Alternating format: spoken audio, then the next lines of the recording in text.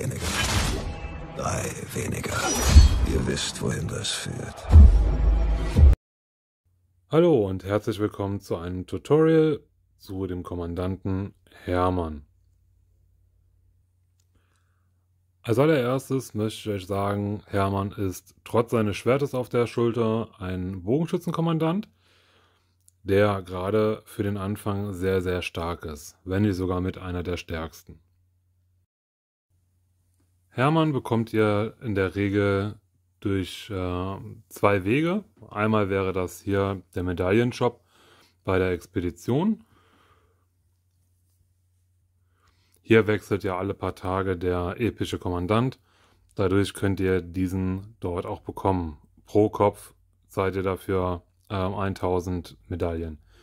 Unter anderem könnt ihr den aber auch hier unten ähm, über die anderen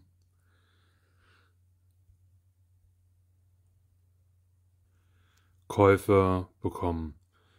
Die zweite Möglichkeit ist durch Goldkisten. Hier könnt ihr den Hermann in den Silbertruhen sowie auch in den Goldtruhen ziehen. Wie ihr hier sehen könnt. Es gibt aber auch noch eine weitere Möglichkeit und das kommt darauf an, wie ihr am Anfang gestartet seid. Solltet ihr die Kultur Deutschland gewählt haben am Anfang, dann bekommt ihr den Hermann dort auch über die täglichen, ähm, beziehungsweise, ja, täglichen Aufgaben dort. Und halt eben auch als Startkommandant von Anfang an. Die beste ähm, Kultur für Hermann ist ähm, das Osmanische Reich, weil das die Bogenschützen äh, generell pusht. Also jeglicher Bogenschützenmarsch, den ihr machen wollt, ähm, oder wenn ihr euch generell halt auf Bogenschützen fokussieren wollt, ist das Osmanische Reich einfach das Beste, was ihr haben könnt. Ich zeige euch jetzt einmal die Animation, wenn ähm, Hermann seinen Fähigkeitsschaden raushaut. Und zwar kommen hier diese Stäbe aus dem Boden und spießen den Gegner quasi auf. Das sieht ganz schick aus, allerdings gibt es auch ein paar Kommandanten, wo das noch deutlich, die Animation deutlich geiler aussieht. Mein Favorit ist dieser, diese Animation jetzt nicht unbedingt. Kommen wir darauf zurück, äh, mit wem ist denn Hermann überhaupt kompatibel, beziehungsweise mit dem, wem kann man den sehr, sehr gut spielen. Und da möchte ich ganz gerne klein anfangen. Ähm, am Anfang ähm, werdet ihr diese Kommandantin nicht haben. Ähm, allerdings ist sie im epischen Bereich die beste Kommandantin, die mit Hermann funktioniert. Und zwar Keira. Ähm, sie bekommt ihr allerdings nur ähm, ausschließlich durch, äh, die, äh, durch die, äh, den Job bei Kerolli und könnt ihn, sie auch nur dadurch leveln. Daher ist es am Anfang vielleicht jetzt nicht die beste Option, allerdings kann man Keira sehr, sehr gut mit Hermann zusammen spielen. Die andere Alternative, gerade zu Anfang, ist ähm, Kusunuki. Ähm, mit ihm zusammen ähm, habt ihr ein sehr, sehr starkes äh, Duo auf dem Platz ähm, und könnt äh, da auch sehr, sehr viele Gegner, Gegner wirklich mitschlagen. Ähm, natürlich kommt es noch auf die Rüstung an, die ihr habt, aber das ist schon ein, äh, für, gerade für Free-to-Play-Spieler eine sehr, sehr gute Kombination. Und wenn ihr das noch ein bisschen günstiger haben wollt, also gerade wenn ihr wirklich gestartet seid mit dem Game, dann ist äh, Tomegosen äh, ein sehr, sehr guter Kommandant, der zu ihm passt. Ihr müsst natürlich immer bedenken, bei all diesen Kommandanten solltet ihr immer rein nur Bogenschützen mitschicken. Da beide Kommandanten jeweils immer ähm, eine, eine Fähigkeit haben, die wirklich nur auf Bogenschützen ausgelegt ist. Ne? Äh, Tomegosen wollte ich schon immer mal probieren in äh, Kombination mit Hermann, äh, wenn ich gestartet bin in dieses Spiel oder einen Jump-Account erstellt habe oder ähnliches. Da bin ich leider bisher noch nicht zugekommen, aber vielleicht probiere ich das in der Zukunft mal aus. Für die etwas anspruchsvolleren Leute unter euch ist auch ähm, El Cid eine sehr, sehr gute Kombination, wenn nicht sogar eine perfekte Kombination, da beide ähm, den Gegner ähm, Schwächen durch, äh, durch ähm, Schwe zum Schweigen bringen das bedeutet, der Gegner kann keine ähm, seinen Fähigkeitsschaden äh, für eine Sekunde oder zwei nicht auslösen. Und bei Acid ist es sogar so, dass äh, normale Angriffe ähm, unterdrückt werden. Von daher ist das eine sehr, sehr gute Kombination miteinander und äh, kann ich auch jedem empfehlen. Allerdings, ähm, um da eine gute Kombi zu haben, ich glaube, da ist tatsächlich äh, Kusunuki am Anfang eher die bessere Wahl. Und jetzt noch das Beste, was ihr eigentlich haben könnt, ist natürlich äh, YSG. YSG ist, ähm, ich glaube, von Anfang des Games bis Ende des Games, äh, bis zum aktuellen Stand jedenfalls, einer der besten Kommandanten überhaupt, den ihr haben könnt. Und hinter Hermann ähm, ist er ebenfalls sehr, sehr stark. Kommen wir mal zu den einzelnen Fähigkeiten der Kommandanten. Haben wir als allererstes natürlich die aktive Fähigkeit ähm, von Hermann. Hier braucht ihr eine Wutanforderung von 1000. Ähm, er ver verursacht hier bei seiner Expertise, ähm, bei seiner ersten Fähigkeit dann normalerweise hier, das seht ihr hier oben, ohne Expertise, 750 Schaden. Bei Expertise sind es 1150 und reduziert die Wut des Gegners. So, was immer, immer gut ist. Also, es, äh, ne, damit könnt ihr immer arbeiten. 100 Wut, äh, das heißt, er hatte dann eine, eine, eine Wutanforderung von 1100, der Gegner, ähm, und braucht halt länger, um seinen Fähigkeitsschaden rauszuhauen. Ähm, Hermann lässt ihn dann verstummen. Wir können ja hier mal auf das Symbol gehen. Macht es dem Ziel unmöglich, ihre aktive Fähigkeit einzusetzen. Und das für zwei Sekunden. Das heißt, zwei Sekunden lang kann er die Fähigkeit nicht ausüben, der Gegner. So, und das nachdem natürlich ähm, Hermann seine aktive Fähigkeit eingesetzt hat. Bei seiner zweiten Fähigkeit hat er ein Marschtempo von 10%. Das ist für Bogenschützen natürlich immer gut, ähm, dass man da ein bisschen was an Tempo hat. Der Angriffsbonus äh, pro Sekunde ist natürlich auch um 10% erhöht, das ist auch gut. Bei der dritten Fähigkeit haben wir hier eine Garnisonsfähigkeit. Die braucht man für Hermann eigentlich überhaupt nicht, da man Hermann nicht als Garnisonskommandant äh, nutzen sollte. Gerade nicht für seine eigene Stadt. Da gibt es deutlich bessere Kommandanten. Ähm, von daher ist diese Fähigkeit komplett wurscht. Kommen wir zur vierten Fähigkeit. Und zwar habt ihr hier einen ähm, Angriffsbonus äh, von 10%. Ähm, und, Nummer, äh, und ihr habt da noch zusätzlich eine 10%ige Chance, dass eure Wut ähm, um 100 äh, reduziert wird. Ihr bekommt 100 Wut, ne? das bedeutet, ihr habt ja einen Wutlevel von 1000 und wenn diese 10% äh, hier kommen bei euch, also ihr die 100 Wut bekommt, dann braucht ihr nur noch 900 Wut. Das heißt, ihr produziert viel, viel schneller Wut ähm, als normalerweise. Daher ist das ebenfalls sehr, sehr stark. Die Expertise haben wir ja eben schon mal kurz drüber gesprochen. Hier ist nichts großartig dazu gekommen, bis auf das der Schadensfaktor ähm, anstelle 750 1150 ist.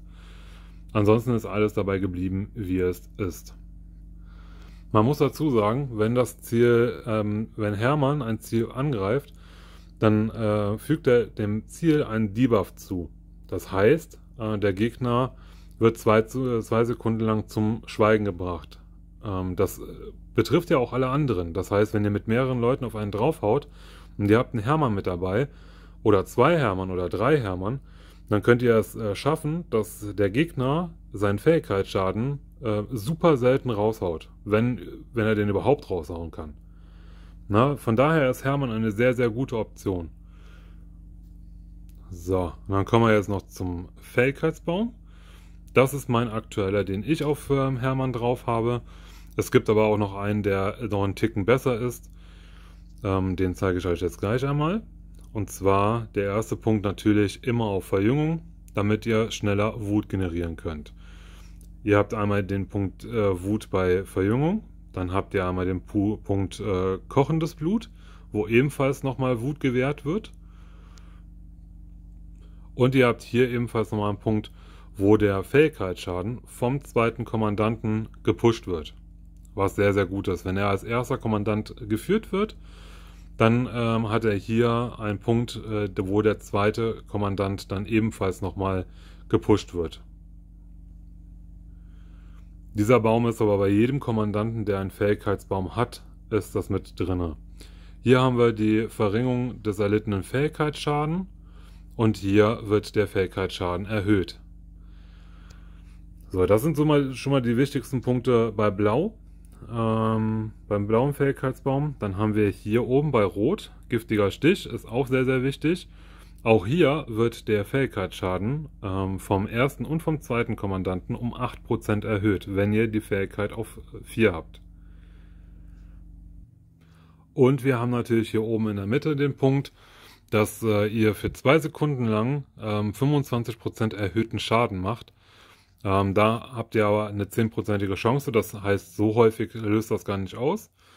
Ähm, aber 10% Chance ist besser als gar keine. Ähm, von daher, also ne, zwei Sekunden lang jeweils 25% ist mega. Allerdings steht hier auch ganz klar dabei, wenn diese Armeen nur aus Bogenschützen besteht. Habt ihr auch nur einen Infanteriekommandanten, äh, ähm, Soldaten dabei, wirkt diese Fähigkeit nicht. Zudem haben wir dann hier nochmal ein paar Punkte, wo ihr ebenfalls nochmal ähm, Schaden auslösen könnt oder auslöst. Hier ist der ähm, zusätzliche Angriff äh, nochmal mit dabei. Hier haben wir ebenfalls nochmal Angriffsschaden. Und hier habt ihr ebenfalls nochmal ähm, Schaden, äh, der erhöht wird um 9%, wenn ihr weniger wie 50% Truppenstärke habt. Hier haben wir Gesundheitsbonus, was auch sehr wichtig ist, äh, wie ich schon gesagt habe. Und hier habt ihr den Punkt, wo ihr an, gerade an Infanterieeinheiten 9% mehr Schaden macht. Auch das ist super. Ich komme jetzt nochmal zu dem anderen Baum, wie ich eben gesagt habe, dazu. Und zwar ist das dieser hier. Wie ihr seht, sind hier am Rand diese beiden Punkte weggefallen. Einmal hier verleiht zusätzlich Wut 9 und einmal hier den Angriff. Dafür ist das aber hier unten bis ganz nach unten durchgegangen. Und zwar haben wir hier ebenfalls noch einmal den Punkt mit dem zweiten, äh, mit den Kommandanten äh, Fähigkeitsschaden. Da der Hermann ähm, durch seine ähm, eine Fähigkeit, die wir uns eben angeguckt haben, 100 Wut zusätzlich produziert. Und ihr dadurch, ähm, dass ihr auch hier bei Verjüngung oder bei den anderen Punkten mehr Wut generiert, könnt ihr innerhalb äh, weniger Sekunden halt deutlich mehr Fähigkeitsschaden raushauen. Dieser Punkt hier, äh, wo der Fähigkeitsschaden ähm, erhöht wird für die nächsten sechs Sekunden, ist sehr gut. Ähm, ich würde euch empfehlen, genau diesen Baum hier auch zu nutzen. Der ist effektiver als den, den ich jetzt aktuell nutze und äh, wird euch auch äh, helfen, dass ihr mehr oder stärkeren Schaden macht. In der Regel empfiehlt man immer auch diesen Punkt hier äh, zu nehmen. Allerdings hat Hermann keinen zusätzlichen Fähigkeitsschaden. Das bedeutet, wenn ihr diese, diesen Punkt hier auswählt, schlummernde Kraft, dann wirkt die nicht. Ähm, das bringt euch, euch also überhaupt gar nichts bei ihm. Na, daher würde ich diese bei ihm nicht auswählen. Dann nehmen wir lieber diesen Punkt hier, wo die Verteidigung und hier der Angriff verstärkt wird. Das ähm, gibt euch dann nochmal mehr. Wie gesagt, ne, der bringt euch gar nichts. Kommen wir noch zur Ausrüstung. Das beste Set, was ihr für Bogenschützen haben könnt, ist dieses Set der Erweckung. Ähm, für Leute, die nicht so viel Geld ausgeben ähm, oder gar kein Geld ausgeben, ist dieses Set schwer zu bekommen. Ähm, aber es ist zu bekommen. Und das ähm, euch äh, zu schmieden äh, für euren Kommandanten ähm, ist einfach dann ein Muss.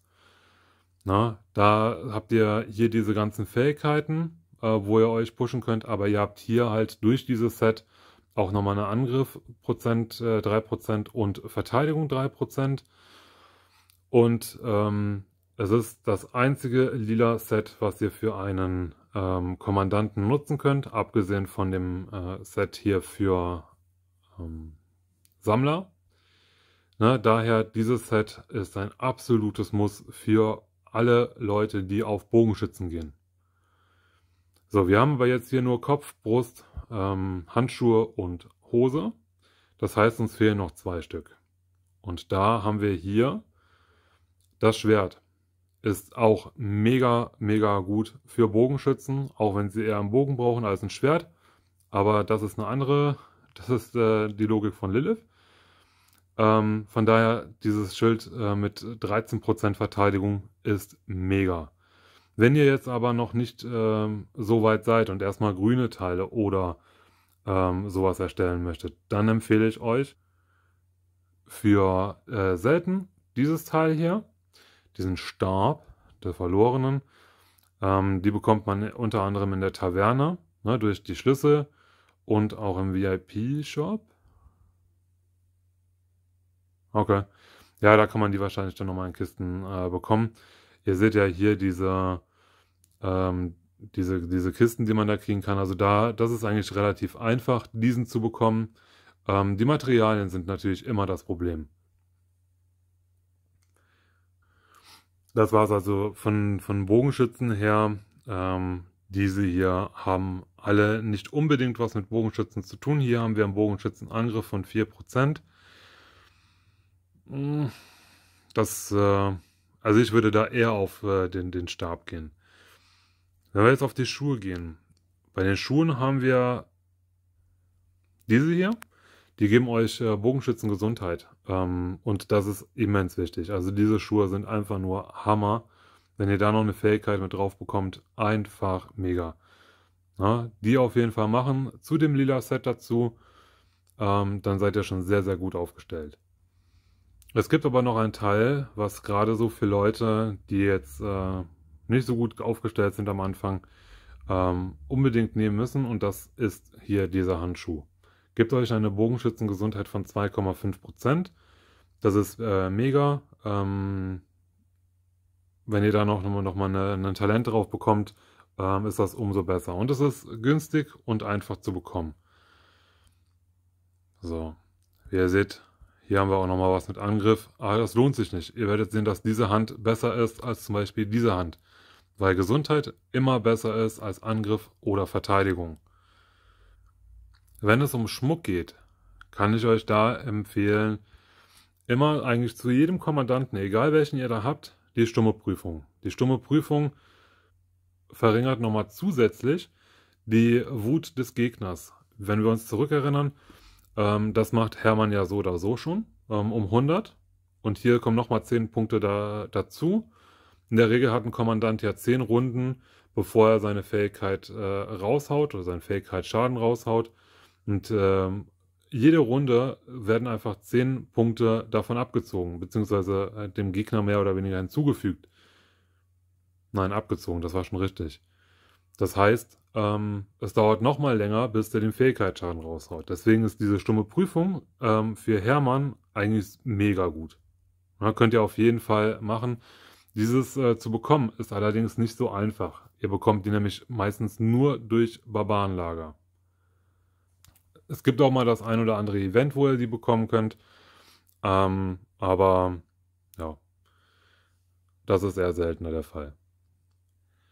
Das war es dann auch schon von mir zu diesem Kommandanten. Ich hoffe, euch hat das Video gefallen ähm, und ihr schaltet auch gerne bei den nächsten Videos wieder mit ein. Von diesen Videos werde ich jetzt äh, mehrere machen noch, ähm, auch zu legendären und zu ähm, epischen Kommandanten. Liebe Grüße gehen raus an Void TRX. In dem Sinne, alles Gute für euch. Bis zum nächsten Mal.